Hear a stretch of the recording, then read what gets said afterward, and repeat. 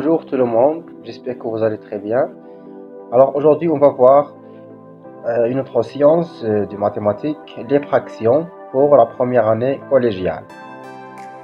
Alors on va voir une activité donc, que représente l'espace coloré de l'espace total dans ces formes-là. Donc on a deux formes, donc on veut déterminer que représente l'espace coloré, c'est-à-dire ici, de, de l'espace total de cette forme la même chose pour, le, deuxième ou bien la deuxième forme.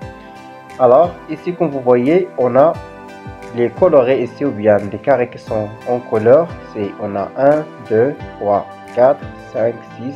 On a 7 carrés. D'accord?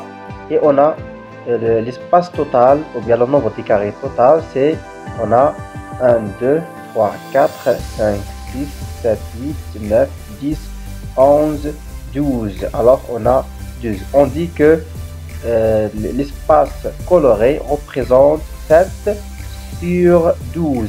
On a 7 sur 12. Alors c'est ça la représentation d'espace coloré de la première forme.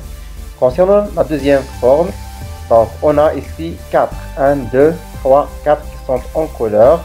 Donc, et on a euh, l'espace total, c'est 1, 2, 3, 4. 1, 2, 3, 4, c'est-à-dire 4 plus 4, ça donne 8. Alors on a 8 et on dit que l'espace coloré représente 4 sur 8. On a 4 colorés sur la totalité, c'est 8. D'accord? Alors, cette représentation peut, être, écrite sous, la forme d'un nombre comme ça. Donc on dit 7 sur 12. 7 sur 12, on a 7 sur 12. La même chose ici, on peut écrire 4 sur 8. D'accord?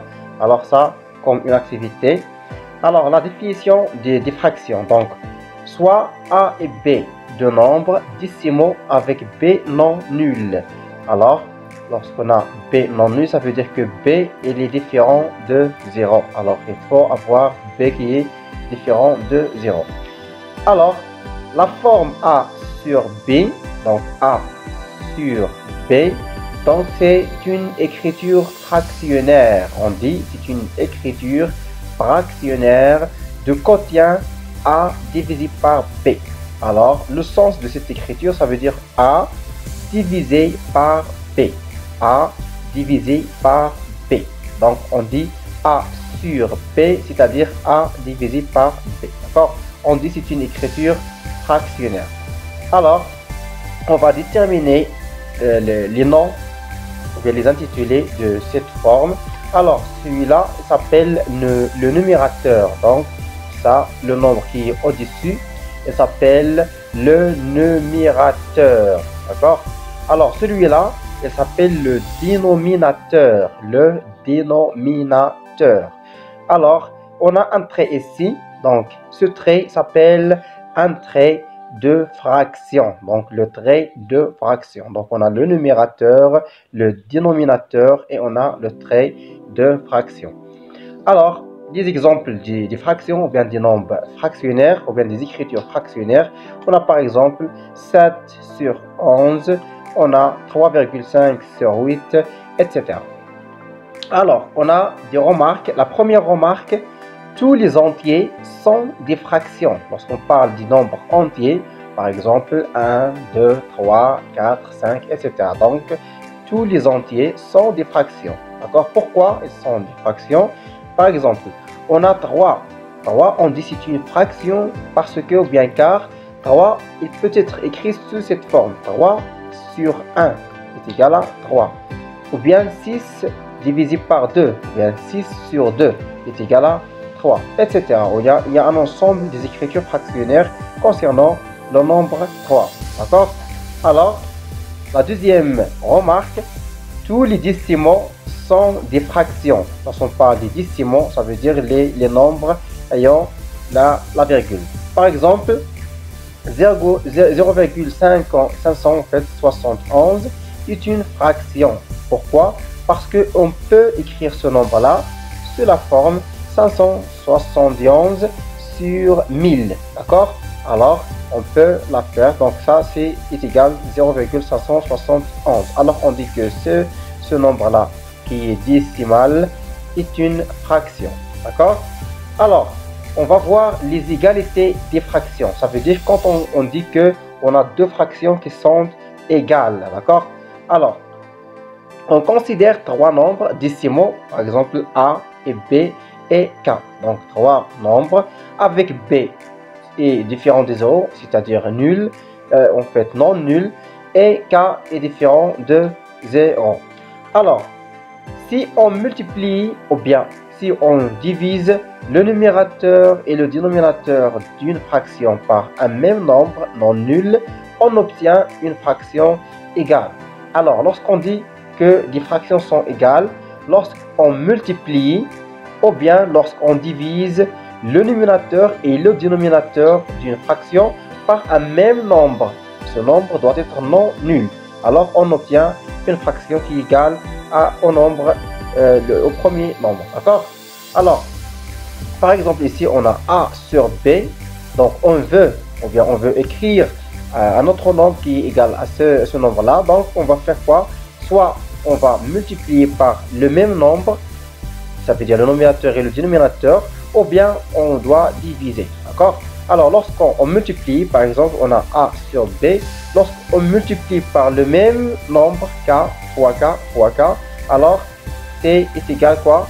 Est égal le même nombre si on divise par le même nombre qui est non nul. D'accord? Donc K doit être non nul. Alors, on a dit que A sur B est égal A fois K B fois K est égal aussi A divisé par K et sur B divisé par K. Alors, on va faire des exemples. Par exemple, on a 12 sur 4. Alors, on veut, on veut écrire un autre nombre euh, fractionnaire qui est égal à ce nombre-là. Donc, qu'est-ce qu'on va faire? On voit s'il y a un nombre qui peut être divisé par ce nombre ou non. Alors, par exemple, on va faire la multiplication, par exemple. Donc, on va multiplier, par exemple, par 2. Lorsqu'on multiplie le numérateur et le dénominateur par le nombre 2. Donc, on obtient un autre nombre qui est 24 ici. Donc, 12 fois 2, ça donne 24. Et 4 fois 2, ça donne 8. Alors, un autre exemple. Donc, par exemple, ici, 12 sur 4, le même nombre, on va, faire la, la division. C'est pas la multiplication ici, mais on va faire la division. Alors, est égal 12 sur 4, on va diviser par exemple par 2. Donc, 12 divisé par 2, ça donne... Alors, ça donne 6. Alors, 4 divisé par 2, ça donne 2. D'accord? Alors, on dit que 24 sur 8 avec 6 sur 2, ils sont égales. D'accord? Alors, ce nombre est égal, son nombre est égal 12 sur 4. Alors, on a 3, 3 nombres qui sont égales. D'accord? On a obtenu ce, ce nombre-là avec la multiplication ou bien avec la division. Alors, il y a une remarque. La simplification d'une fraction, c'est l'écriture de plus petits numérateurs et dénominateurs entiers possible. C'est-à-dire, lorsqu'on parle de la simplification, on écrit, ou bien il faut avoir une écriture la plus petite de ce nombre, de numérateurs et, et dénominateurs. D'accord? Alors, on dit que la fraction est irréductible. Quand on dit que la fraction est irréductible, lorsqu'on a la plus petite écriture d'un nombre euh, fractionnaire de numérateur et de dénominateur. D'accord? Alors, exemple, on a par exemple 4 sur 7. Alors, ce nombre-là, c'est un nombre qui est irréductible, bien une fraction irréductible. Pourquoi? Parce que il n'y a pas un nombre, on peut diviser 4 sur ce nombre-là et 7 sur le même nombre. Alors, on ne peut pas avoir un nombre commun entre 4 et 7, donc de division, d'accord? Alors, on dit que cette fraction est irréductible. Alors, euh, un autre exemple, 21 sur 15.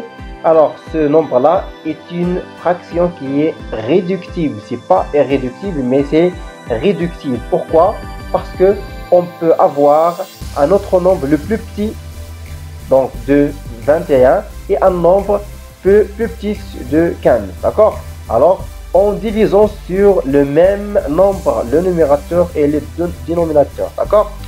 Alors, on peut avoir une relation entre euh, le, numérateur et le dénominateur, c'est que on peut diviser 21 sur 3 et 15 sur 3. Alors on a 3, c'est commun entre 21 et 15. Alors, on a 21 sur 15, on peut l'écrire sous cette forme. Donc on a 21 divisé par 3 et 15 divisé par 3. Alors on peut diviser les deux nombres euh, par le même nombre entier non nul, ça veut dire qu'il est différent des 0, c'est 3. Alors, on fait la division, 21 euh, divisé sur 3, ça donne 7. Et 15 divisé sur 3, ou bien euh, par 3, ça donne 5. D'accord?